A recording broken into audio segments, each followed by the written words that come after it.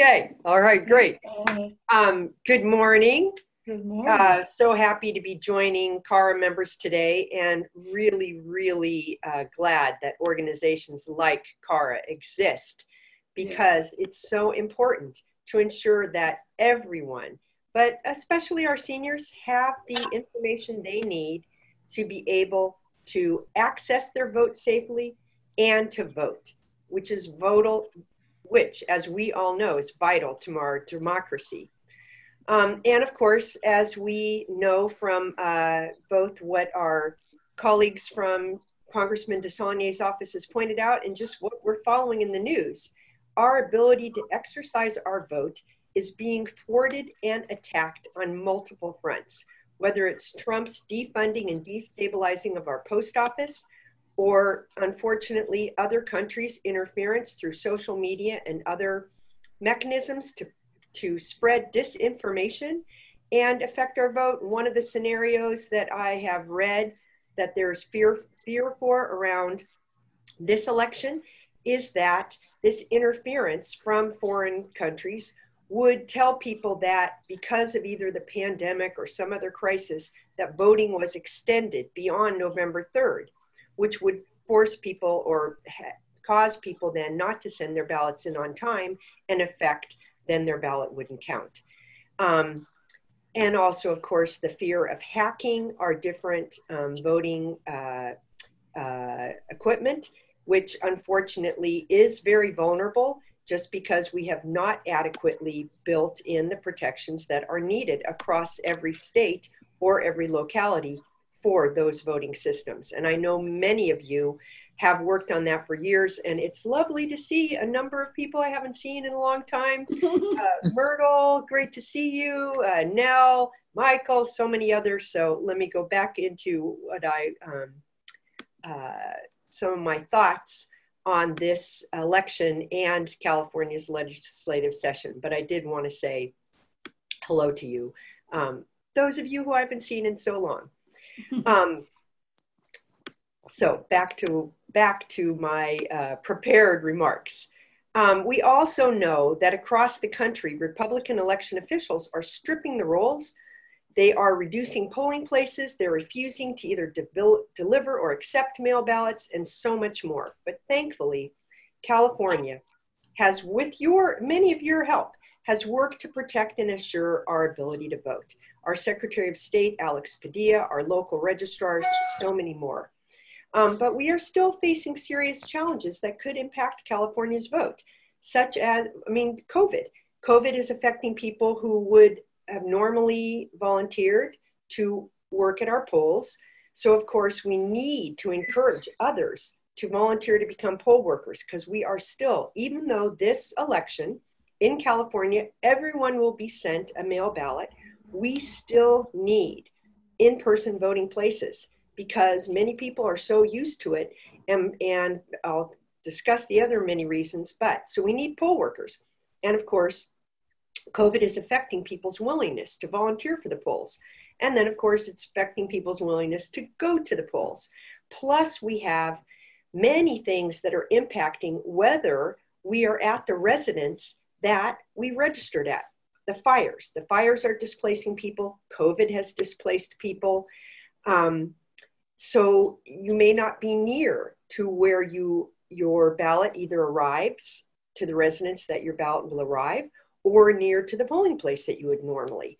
Fortunately, in California, people can register or change their registration online until October 19th.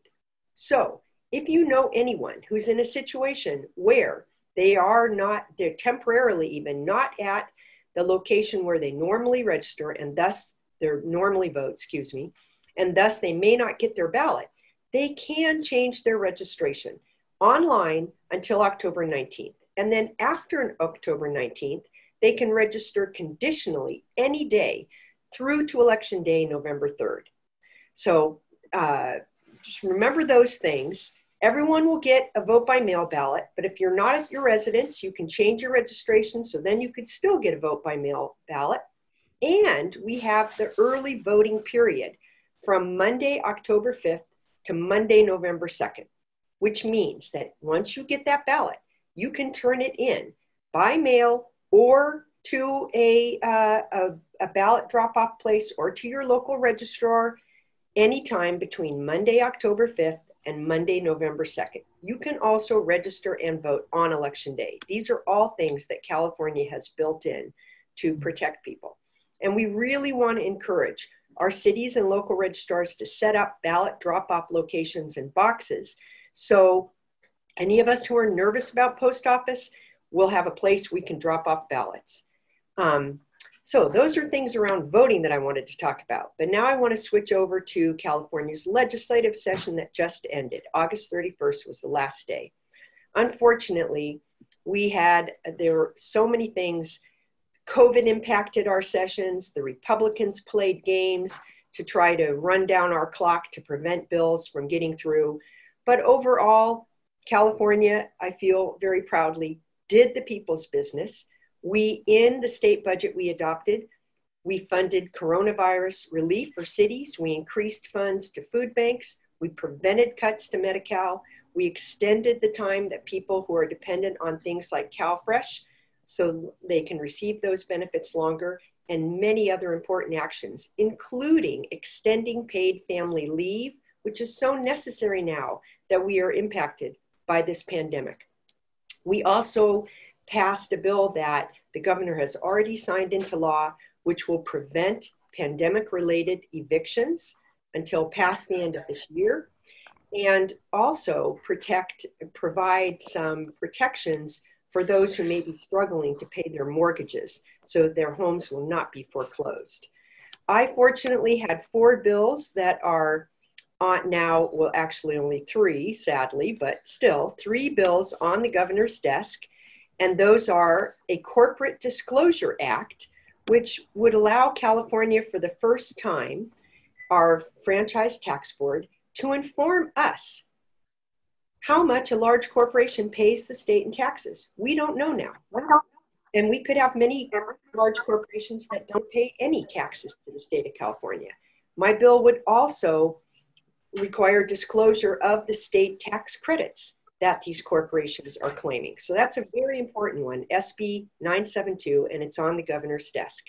Then I have SB 1079, which would, if you remember during the last recession, there were a number of large corporations like Blackstone that snatched up many foreclosed homes and basically became the largest single family homeowners in California. And we want to prevent another Wall Street takeover of single family homes. And that's what my bill, SB 1079, does. And then SB 1064 is another very important bill. I'm the chair of the Public Safety Committee and the Public Safety Budget Committee. And so I'm very focused on trying to reform our criminal justice system and provide due process for people who become system impacted what we is the term we use if you are if you end up in prison or you end up uh, in the criminal justice system.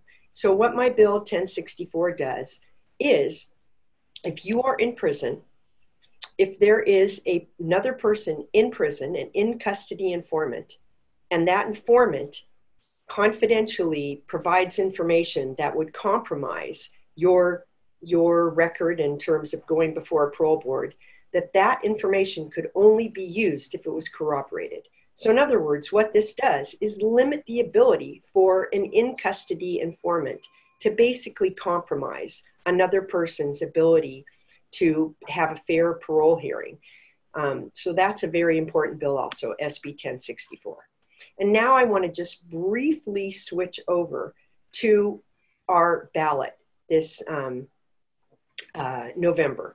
And I think most of you are following and paying close attention. As I mentioned, obviously, besides the national election, this is extraordinarily a time where our values are on the ballot. And I wanted to mention Prop 15, the Schools and Communities First initiative. All of us are going to receive lots of misinformation that tries to tell us that Prop 15 affects homeowners' property tax. Mm-hmm. It does mm-hmm. not. It does not touch homeowners at all, period. Mm-hmm. It is purely and solely on commercial properties. And what it would do is allow for, and so many of us have been advocating for this for years, it would allow California to assess commercial properties in a much more fair way, which in turn would provide much better funding to our cities, our counties, our schools, and so much more. Mm-hmm. So I wanted to mention that one. And I also wanted to mention Prop 25, which is a very cynical attempt by the bail industry to try to reverse the legislature's action to end cash bail. And right now, during the time of such high unemployment and so many other economic factors, we do not need to further cripple low income people by requiring outrageous amounts of cash bail. It has been mm-hmm. proven to be extraordinarily unfair and unjust, and California acted to eliminate it. But the bail industry put on the ballot Prop 25 to reverse our decision. So, what we have to do um, in casting our vote is vote yes on Prop 25. So, I want to stop there and let you ask me questions.